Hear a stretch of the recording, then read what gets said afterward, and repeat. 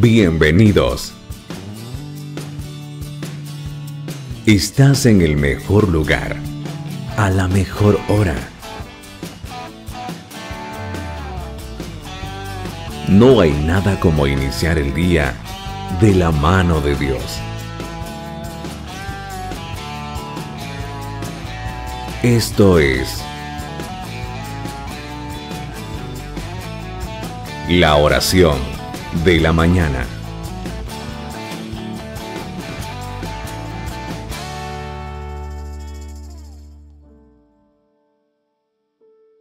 Hola, buen día. ¿Cómo está en este hermoso día que hizo nuestro Señor? ¿Cómo se encuentra? Mi amada familia, ¿cómo está en este día? Qué bendición poder comenzar esta semana de una excelente forma, porque no hay mejor forma que comenzar nuestra semana que buscando esa palabra que alimenta nuestro espíritu, que nos da fuerza, que nos llena de fe y que sentimos, ¿verdad? Como Dios habla a nuestra vida y usted eligió estar en el mejor lugar, a la mejor hora. Soy Enrique Monterrosa desde El Salvador y esto es la oración de la mañana. En el pozo de la desesperación. Hay momentos en nuestra vida que nos sentimos así, como que si estuviésemos en un pozo de desesperación. Estamos desesperados por la situación que estamos viviendo Estamos desesperados por los problemas que estamos enfrentando y que en muchas ocasiones, por más que pensemos o analicemos la situación, no le encontramos una salida. Y es ahí cuando la desesperación muchas veces quiere gobernar nuestra vida. Nos roba la paz, nos roba la tranquilidad. Comenzamos a sentir, ¿verdad?, una presión Comenzamos a sentir esa carga pesada y sentimos que no podemos salir de ese lugar. Sentimos que no podemos escapar de ese instante, de ese momento que estamos viviendo y en donde nuestras emociones, donde hay un tsunami de emociones que no son buenas, que no nos hacen sentirnos plenos, que nos roban la paz, que nos roban la alegría, donde la sonrisa muchas veces se ha borrado de nuestro rostro. Y es que todos atravesamos dificultades que nos quieren llevar a la desesperación. Y hay dificultades que parecieran que son como una trampa, como un pozo donde hemos caído y no podemos salir de él. ¿Alguna vez usted ha sentido que está en ese pozo de la desesperación donde usted quisiera salir pero no puede? Donde por más que intente poder escapar de ahí, pareciera que nada funciona. Donde está esperando aquella respuesta que nunca llega. Y en donde poco a poco su fe se va reduciendo. Posiblemente hoy entre nosotros hayan muchas personas que se encuentren en ese pozo de la desesperación. En ese momento en donde está rodeado de problemas, donde las dificultades están a la orden del día, donde la situación económica está bastante difícil, donde la situación familiar se ha puesto complicada, en donde, salud, donde su salud se ha complicado también y en donde pareciera que todo se está poniendo en nuestra contra, porque hay momentos en nuestra vida donde pareciera que todo se pone en nuestra contra. Por mucha fe que nosotros querramos tener, viene una situación, viene, viene otra y pareciera que estamos rodeados, atrapados. Y la desesperación comienza a gobernar nuestra vida. Y cuando la desesperación comienza a gobernar nuestra vida, entonces ahí nos estamos olvidando de aquel que nos otorga la paz, de aquel que está dispuesto a escucharnos y que seguramente también nos va a responder. Y es que usted puede sentirse en un pozo de la desesperación, pero aún ahí Dios puede escuchar su clamor. Y hay momentos en los que Dios permite que estemos ahí porque también algo vamos a aprender. ¿Por qué no podemos decir que no aprendemos nada en esos momentos? Siempre se aprende, se aprende algo, se aprende a confiar más en el Señor, se aprende a tener fe, a ser más fuerte, a forjar nuestro carácter también. Porque las situaciones difíciles forjan en nosotros un carácter diferente. Porque las situaciones difíciles son las que afirman nuestra fe. Yo sé que es estar ahí. Estar en ese pozo de la desesperación donde no sabes qué hacer. Donde quisieras hacer algo, pero no puedes hacer nada. Donde quisieras que la situación fuera diferente, pero no lo es. Y tienes que enfrentarte a la realidad que es. A la situación esa complicada que tenemos frente a nosotros, que nos ha robado la paz, que nos ha robado la alegría, pero que también vamos a salir de ahí. Porque tú no estarás en ese pozo de la desesperación siempre. Mientras tú sigas clamando, aún estando en el pozo de la desesperación, Dios escuchará tu clamor. Dios escuchará tu oración. Y Dios te sacará. Porque déjame decirte algo bien importante. El único que puede sacarte de ese pozo de la desesperación es el Señor. Y el salmista lo tenía muy claro. David había enfrentado también ese pozo de la desesperación. Sabe qué es estar ahí, sabía que se siente, que se percibe y sabía que también el único que podía sacarlo de ahí era el Señor a través de ese clamor, a través de esa comunión, a través de ese llamado que hacemos al Señor. Porque déjeme decirle que aunque pareciera que nuestras oraciones no son escuchadas, lo cierto es que Dios sí las escucha.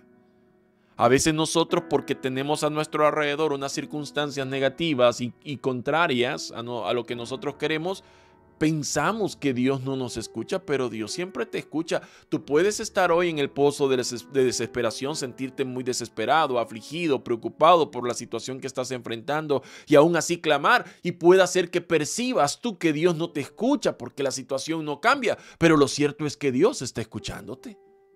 Lo cierto es que Dios ha inclinado su oído hacia tu oración y Él te va a sacar de ahí. Y quiero invitarte a que juntos podamos leer este día. En el libro de los Salmos, acompáñame por favor al libro de los Salmos capítulo 40. Libro de los Salmos capítulo 40. Versículos del 1 al 3 en la versión de la Biblia, Reina Valera de 1960. ¿Qué dice la palabra? La palabra del Señor dice, este es un salmo de David, dice David, pacientemente esperé a Jehová. Oiga esto, por favor, pacientemente esperé a Jehová y se inclinó a mí y oyó mi clamor. ¿Cómo lo esperó? Pacientemente.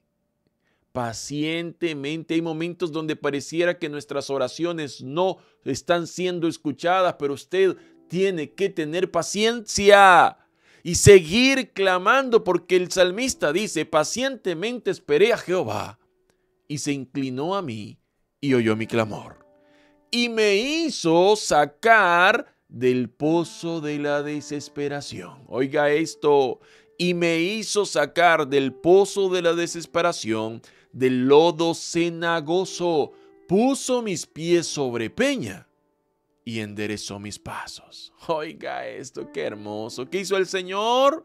Dice que lo hizo sacar del pozo de la desesperación, del lodo cenagoso, y puso sus pies sobre peña y enderezó sus pasos. Y el versículo 3 dice, y puso luego en mi boca cántico nuevo. Alabanza a nuestro Dios. Verán esto muchos y temerán y confiarán en Jehová. ¿Qué hizo el Señor luego que lo sacó del pozo de la desesperación y del lodo cenagoso? Dice que puso en su boca cántico nuevo, alabanza a nuestro Dios. Verán esto muchos y temerán y confiarán en Jehová. Es cierto, hay momentos en donde nos sentimos atrapados en ese pozo de la desesperación, en donde ese lodo cenagoso no nos deja avanzar y no nos deja mover. Pero el Señor escuchará tu clamor, se inclinará a ti y escuchará tu oración. Y no solo eso, te va a sacar de ese pozo de la desesperación. Es decir, Dios va a resolver, Dios va a actuar, Dios te va a salvar de ese pozo, te va a rescatar de ese pozo y te pondrá sobre, pondrá tus pies sobre peña y enderezará tus pasos. Puede hacer que en este momento hay angustia, hay desesperación porque hay inestabilidad en tu vida pero Dios afirmará tus pasos. Y no solo eso. El salmista dice que pondrá cántico nuevo en tu boca. Alabanza a nuestro Dios. Cuando alabamos a Dios, estamos reconociendo lo que Él hizo. Oiga bien esto. La alabanza reconoce lo que Dios hace y la adoración reconoce lo que Dios es. Y cuando pone alabanza en nuestra boca es porque estamos reconociendo lo que Dios ha hecho. ¿Qué quiere decir esto? Que Dios hará algo en tu situación que Dios cambiará tu estado, que Dios te sacará de ese pozo de la desesperación, que no tienes que desesperarte, ten paciencia. El salmista decía, pacientemente esperé yo a Jehová. Puede hacer que a tu lado haya muchas personas que se están desesperando, que piensan que la situación ya no va a cambiar, pero ese no es tu caso. Y tu fe no tiene que ser determinada por los casos que tengas a tu lado. El hecho de que a alguien no le ha ido bien, el hecho de que alguien tuvo malos resultados, no significa que tú también. Ah, pero es que mire esto y lo otro. Confía en el Señor. Clama a Dios. Espera con paciencia y Dios te sacará de ahí. A veces creemos que Dios no está al tanto de todo lo que estamos viviendo, pero lo cierto es que Él está al tanto. Él sabe lo que estamos viviendo, Él sabe lo que estamos enfrentando y Él sabe cómo sacarnos de ahí. Hay momentos en los que tenemos que esperar, que, esperar y en donde también tenemos que experimentar el pozo de la desesperación. Porque cuando dejamos de creer, cuando dejamos de confiar o cuando los problemas se acrecentan en nuestra vida. Permitimos caernos en el pozo de la desesperación, en ese lugar donde pareciera que no hay salida, donde pareciera que estamos atrapados. Pero aun cuando pareciera que estás atrapado y que, no, hay una salida, Dios te va a sacar de ahí. Y yo lo creo, ¿tú lo crees?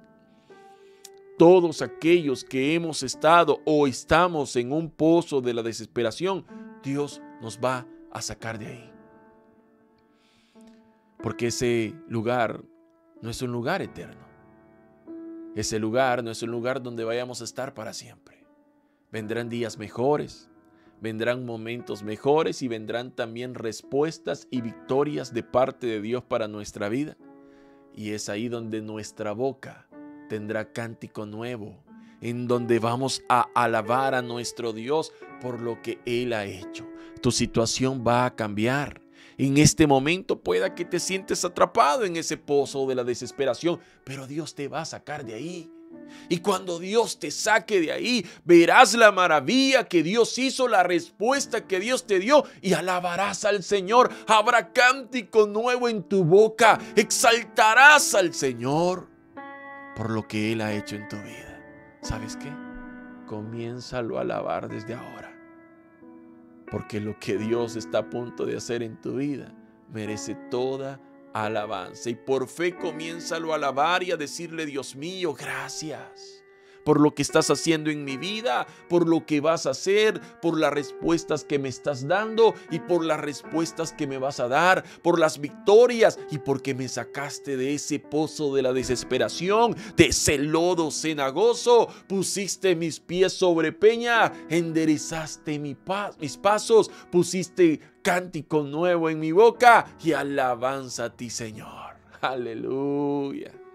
Porque eso es lo que Dios hará en su vida. ¿Usted lo cree? Yo lo creo.